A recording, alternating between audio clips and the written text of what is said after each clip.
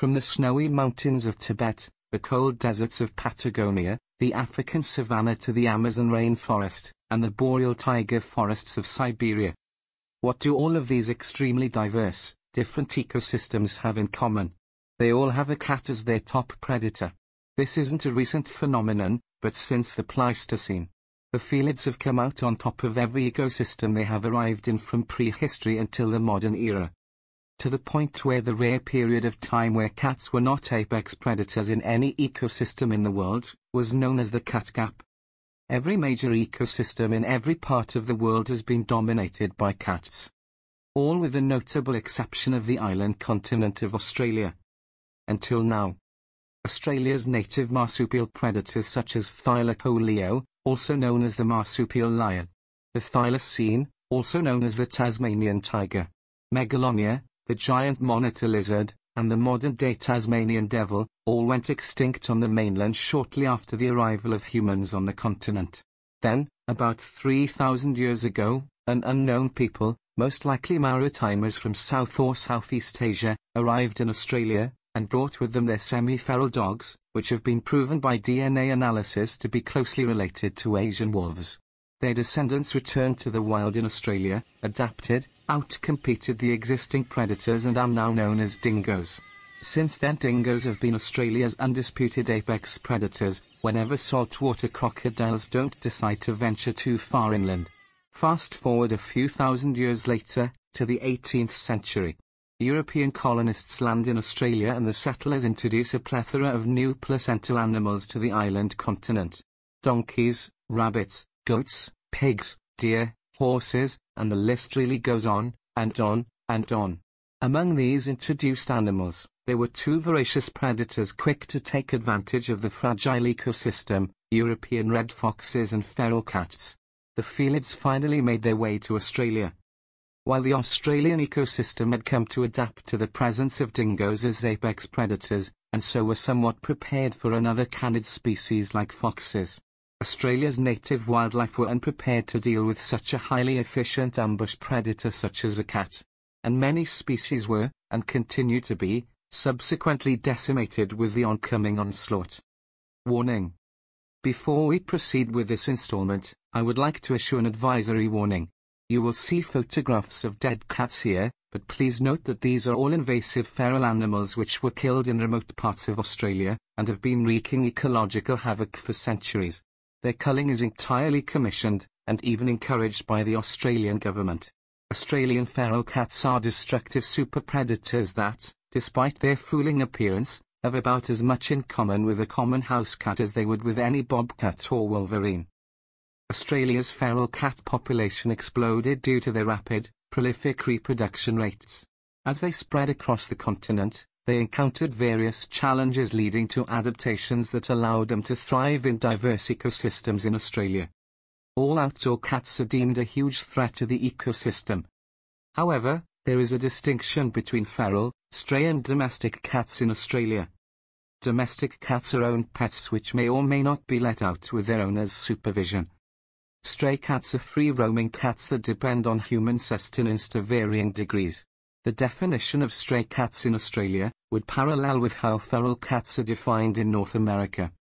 Feral cats live entirely in the bush, extremely cautious of humans and are by all means wild animals with the same instincts as any wild cat species. But there is another fact about feral cats in Australia which is increasingly being brought up in conversations about them. Some of these Australian feral cats are growing to be absolutely huge.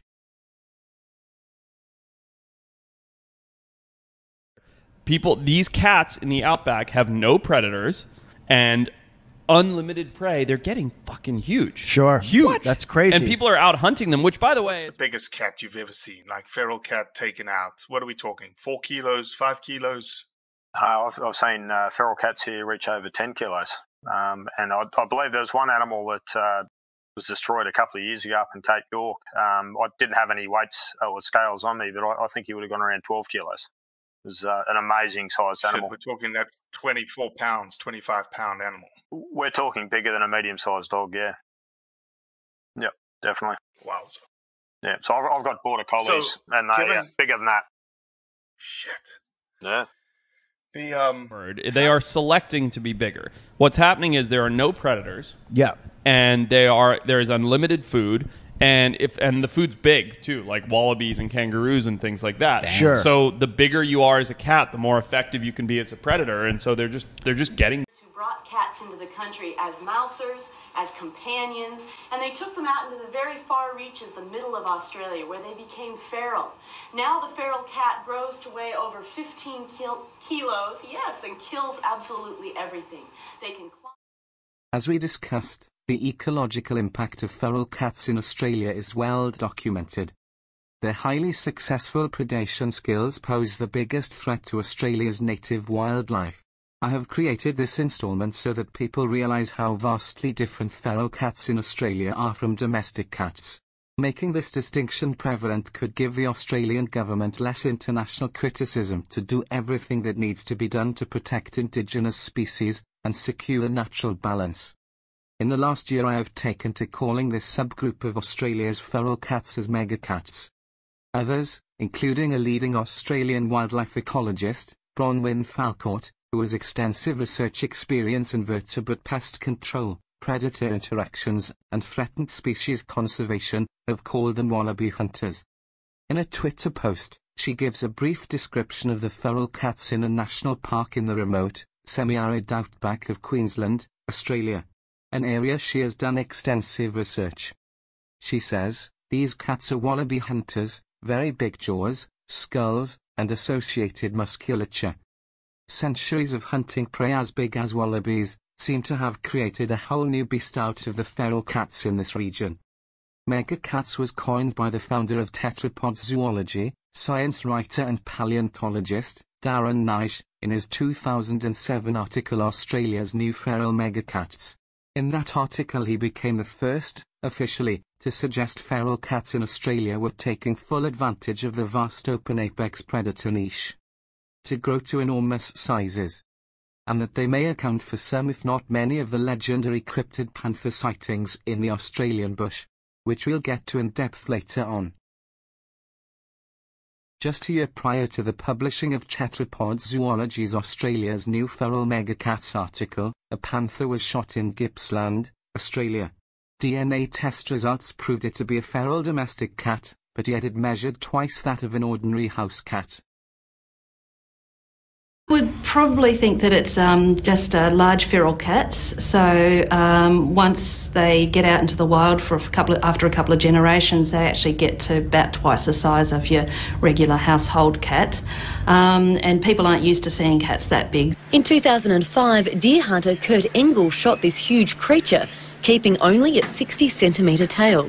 It just shot up and came towards me. The chest. DNA test revealed it was 98% certain to be a feral cat. Well, I have never seen any feral cat, you know, being nearly two meters long. But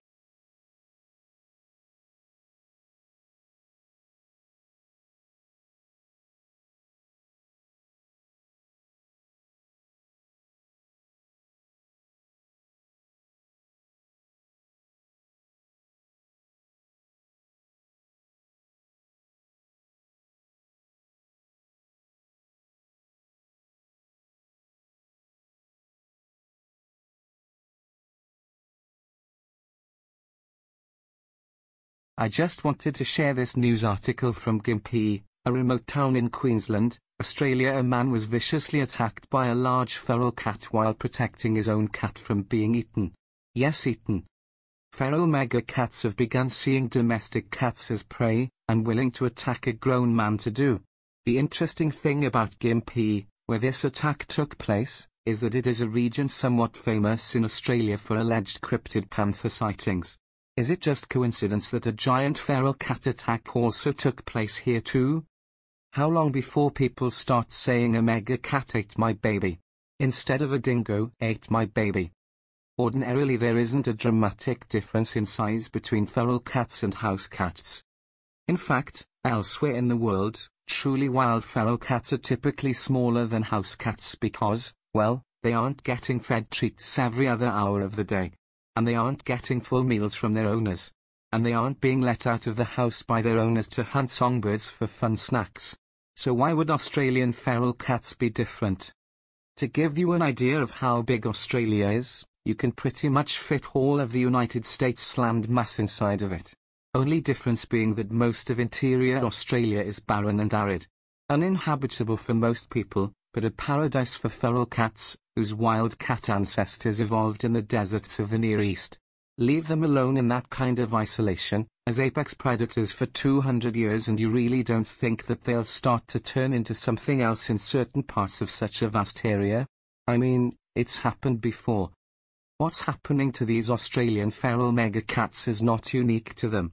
In Madagascar, there is the Fitoaty, also known as the Malagasy forest cat, which made headlines in a CNN article. It is a large cat in the dense forests of Madagascar. It is distinguished from ordinary feral cats by the locals and has almost cryptid status because of how rarely seen it is. DNA tests proved that the Fitoaty is descended from Middle Eastern wildcats aboard the ships of Arabian traders a thousand years ago and reverted to a wild state. The Corsican cat fox, a similar animal in the Mediterranean province of Corsica, and who also made headlines in a CNN article. These animals descended from feral cats kept by the Romans almost 2,000 years ago. There is currently a huge discussion as to whether they constitute a new subspecies of African wildcat at this point or if they're still feral domestic cats. On the nearby island of Sardinia, there is also a wild cat called the Sardinian lynx with very similar contested origins. And on another Mediterranean island, the Greek island of Crete, there is the Cretan wildcat. It was previously considered a separate subspecies of wildcat as Felis sylvestris cretensis, but later revealed to have the same origins as the so-called wild cats of Corsica and Sardinia. Domestic cats from the Roman era that went feral and have adapted to the isolated island ecosystem as apex predators for thousands of years. So is it really that hard to imagine that, just like these animals, cats in extremely isolated parts of the outback, I'm talking a day, two to three days drive from the nearest human settlement, wouldn't undergo any similar changes as these aforementioned wild cats. Last but not least, we have Australia's very own dingo as an example. As we mentioned earlier dingoes were introduced to Australia at a time when dogs were still semi-domesticated and still quite close to wolves, but they've been around for long enough that they can be considered a separate species, and for the ecosystem to have adapted to their presence. Dogs have been domesticated for about 20,000 or so years, while cats have been for little over 10,000 years. It took 4,000 years for dingoes to, quote unquote, undomesticate in the Australian bush. It would make sense that it would take far less time for the cats to rewild. Australian feral megacats aren't just urban legends told by hunters in the outback. Leading Australian wildlife conservation organisation, Arid Recovery, has confirmed that in their experience some feral cats can grow gigantic. As big as a small dingo. As we mentioned earlier there are an estimated 5 to 10 million feral cats in the Australian bush at any given time. Let's say just 0.7% of these cats can be classified as feral megacats. That means up to 35,000 to 70,000 dingo-sized feline predators, basically small leopards, thrive in the outback. If this indeed is the case it's small wonder that many are seeing cryptid panthers in the bush.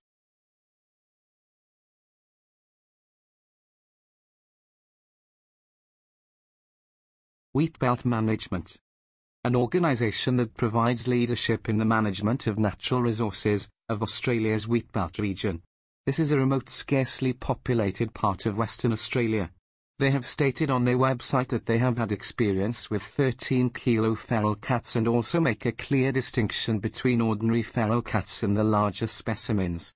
Larger specimens being our mega cats or wallaby hunters. Remember how I mentioned at the beginning about how every ecosystem has an apex predator cat when you look at cases like the lions in the Okavango Delta, leopards in Sri Lanka, pumas in Patagonia, tigers in Siberia, jaguars in the Amazon, it makes sense why some Australian feral cats are becoming mega cats. It's in their DNA. When felids are dominant apex predators their evolutionary response seems to be to become as big as possible. Savannah cats and Bengal cats are exotic cat breeds formed from the hybridization of domestic cats with wild cats such as servals and Asian leopard cats, respectively. These exotic cat breeds are banned in Australia for the very reason that if some of these cats were to go astray which would inevitably happen they could introduce powerful wild cat genetics into Australia's invasive cat population and eventually introduce their genetic to the feral mega cat population. That was a smart scientifically based decision. Maine Coons are the largest purebred domestic cat breed without hybrid genetics. They can grow to be 8 to 10 kilos, or 22 pounds. It was previously believed that Maine Coons were hybridized with bobcats, or were descended from Siberian or Norwegian long-haired cat breeds. Research studies have revealed that Maine Coons were typical short-haired domestic moggies that arrived on British ships, just like the ancestors of our Australian megacats and reached their enormous sizes as a result of adapting to the harsh climates in which natural selection pressures for similar qualities. Thick, long coats. Toe and ear tufts, Big bodies and lynx-like, snowshoe-like big feet are useful traits in the harsh Maine forests, where the Maine Coons originated in. If the origin of Maine Coons is correct, I think these Australian feral megacats might be the Australian outback's counterpart of the Maine Coons. They have similar origins descending from cats aboard British colonial ships, found themselves in far-flung regions of the British Empire, and adapted to their respective new environments growing to huge sizes being one of these new adaptations, rather than a wild cat subspecies like we were talking about earlier. These mega cats in Australia could represent a new naturally developed wild breed of cat unique to the Australian bush, a wallaby hunting Maine Coon of the outback. We're seeing, but I actually think there's potential for some of these feral cat populations to be producing gigantic feral cats, like not not cougar size, but you know, uh, 30, 40 pound cats. Um, there, there's some evidence of that in feral cats in Australia that they're getting really big in the wild. In conclusion of today's installment, feral cats, descendants of domestic cats introduced by European settlers, have adapted to the Australian environment.